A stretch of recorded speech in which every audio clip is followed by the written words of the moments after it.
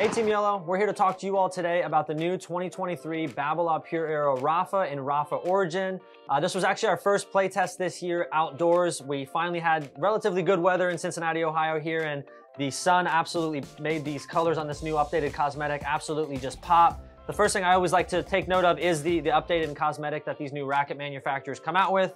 Uh, Rafael Nadal, the king of clay himself, actually helped design uh, some of the new updates to the racket, and I always kind of like to think the black and yellow is the, the classic Babolat Pure Aero look. It's also Tennis Points colors, which is uh, kind of a nice little call out there. And it transitions into some of the more Rafa-esque uh, bright yellow and blue and pink highlighter colors that we've known to see him uh, wear on the court all throughout his career. So um, we just got back from the courts playtesting this, so Claire here is going to tell you a little bit how the playtest went, as well as some of the specs on these two rackets. Yeah, so we've got two rackets here. We have the Rafa and the Rafa Origin. They're both 100 square inch size head, and then they have a 16 by 19 stringing pattern. The only difference is the weight. So the Rafa one is going to be 10.2 ounces unstrung, so it's around 10.8 with the string.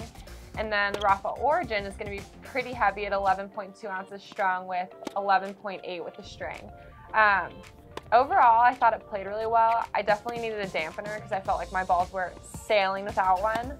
Um, after a couple shots though, I was really able to feel the ball and it's definitely a spin racket. So if you can really whip it, you can place it really well.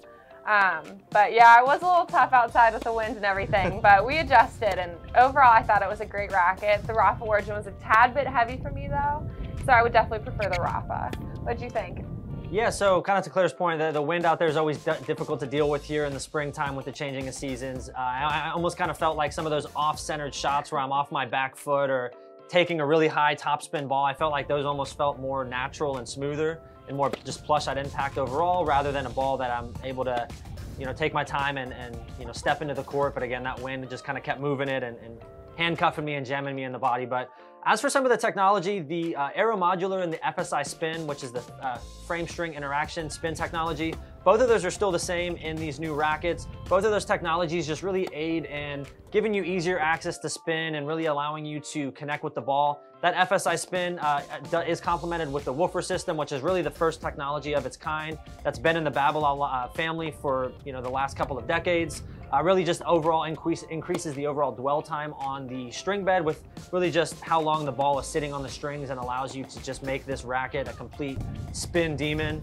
Um, what was interesting though is the Cortex Pure Feel is a technology, it's a dampening technology that Babolat actually chose to remove from these rackets. So me, myself, I don't play with a dampener at all. So this is probably the least forgiving racket I've ever played with.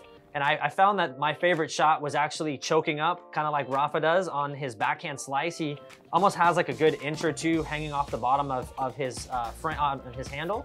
Uh, and really just driving through that, was able to get a lot of depth, especially hitting right in the middle of the sweet spot. Just felt really, really connected to the ball. Uh, a few of the other um, kind of just little tidbits and specs on the rackets that are a little bit different. Obviously the Rafa is a little bit lighter as Claire mentioned, so that's much better for maneuverability when you're running around the court, chasing down balls. Uh, both rackets are a little bit stiffer. The stiffness rating came in at about 73 on the new frames, where the previous model was 67. And there is a little bit uh, wider string spacing, so that, again, that's just gonna give you much easier access to spin overall, as this is um, predominantly a spin racket since we've all seen what Rafael Nadal can do with this racket in his hand. So overall, the playtest went great. I've never played with the Pure Aero, but I would definitely highly recommend checking it out. But we're gonna go jump over to uh, check in with Nate, our brand manager, and see how the playtest went for him. Hey, what's up guys? It's Nate. I wanted to just come in here and tap in on my thoughts on the new Aero Rafa.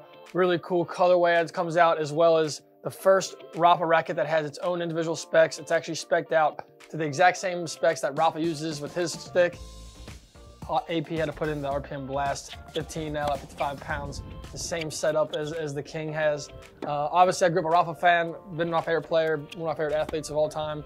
Been using the Pure Aero since I was like 10 years old. So it was awesome to get out there, try out these awesome rackets. Um, first feedback for me was uh, this is a 10.2 ounce racket, the lighter version, and then his racket is actually 11.2 ounces, 300, um, what you say, 34 grams? yeah, 317 strong, unstrung, 334 strong. Which is crazy. So you really feel that weight. Uh, this is actually a quarter size grip, so I really felt like the racket was uh, flipping over the ball very easily.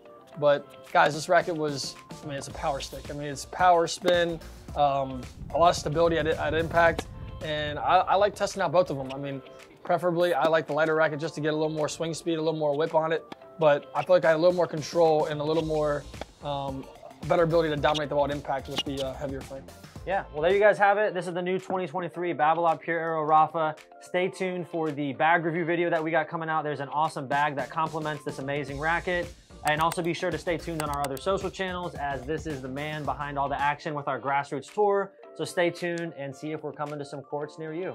Thanks so much, guys. Advantage you.